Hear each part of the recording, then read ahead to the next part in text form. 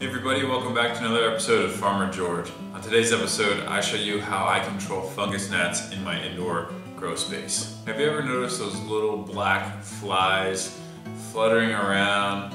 I used to think they were just some kind of fruit fly, but until I got a little more curious, I figured out that those are called fungus gnats and they can actually be detrimental to your plants because what fungus gnats do is they they lay eggs in your soil then their larvae will hatch and then they'll eat the roots of your plant. If your plants don't have roots or healthy roots, they're, they're unable to gather water and nutrients from the soil. And I've never had this problem in the past because I've always used manufactured seed starting mix. Uh, however, this year I'm using just plain organic compost that I, I bought from the store, but still it's organic. And in the process of making compost, it's in the open, open environment. And fungus gnats will come and they'll lay eggs and they'll emerge inside your house. So you could have your plants in a sterile room with no windows, nothing, no way for anything to get inside. But because fungus gnats are able to lay eggs in the soil, and once the soil gets wet enough and warm enough, the fungus gnats will appear. So that was my issue. I thought I was scot-free because I never brought my plants outside, but sure enough, one day they came. Now I don't have that many and after failed attempts with apple cider vinegar and uh, you know smacking my hands together, knocking things over, I decided to go and uh, do some research as to what I should get. So fungus gnats are attracted to the color yellow and you'll see in the next in the next clip of this video uh, when I show you these in action. These are uh, just basically sticky yellow pieces of paper that you that you uh, put onto some wires and you stick the wires in your pots.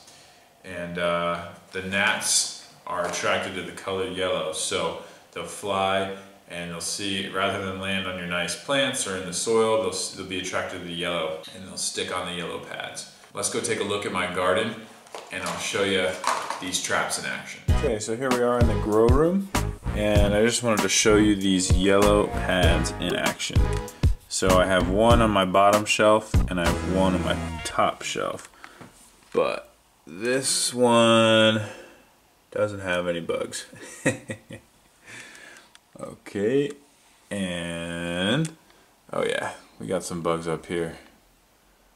So for those of you not familiar with fungus gnats, that's what they look like. I'm gonna go to the other side and get a better look. Okay, so we have two on this side. And they might look insignificant, but they could really wreak havoc on your plants. So it's important to keep them under control. Let's go talk a little bit more about these fungus gnats. Okay, so now that you've seen my grow space, you've seen that one of my two traps actually has, um, I don't know, I'd say like seven or so gnats. Um, I, see, I still see them flying around, but um, last night I went to bed and the top one didn't have any gnats. I think it I think I had one because I took one out and swatted one out of the air. It was pretty cool. When I woke up this morning and checked the traps, they actually, uh, there were quite a few more than the, the, night before. So these traps are only about $16, the ones I bought on Amazon. Uh, they come with uh, 25 little sticky pieces of paper and 10 of those wire stakes. I've seen other versions of these yellow pads with no wires, so you can string them up maybe um, for less than $10 and you get like 20 in a pack. So they're relatively cheap and in order to keep your fungus gnats at bay, I think these are worth it. I don't think I'm going to use them outside because I didn't really have any issues with fungus gnats in the past. The only issue I had with fungus gnats were on my lime green pots, similar to the color yellow. They attracted a bunch of gnats but all my other planters are, are dark black or a brown, and those didn't attract any of the gnats. So only three of these pots that I have, I don't think I'm gonna put out there this year because um, fungus gnats aren't worth it and they really kill your plant, they stun your plants. That's pretty much it on the fungus gnat front. Uh, that's how I control my fungus gnats. So if you're watching this video before April 12th, 2019, I'm having a thank you seed giveaway contest for reaching the 200 subscriber mark. So go ahead and after this video, go check that one out.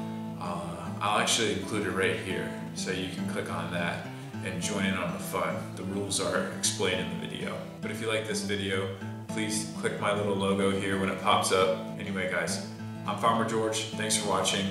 Let's share and grow together. See you next time.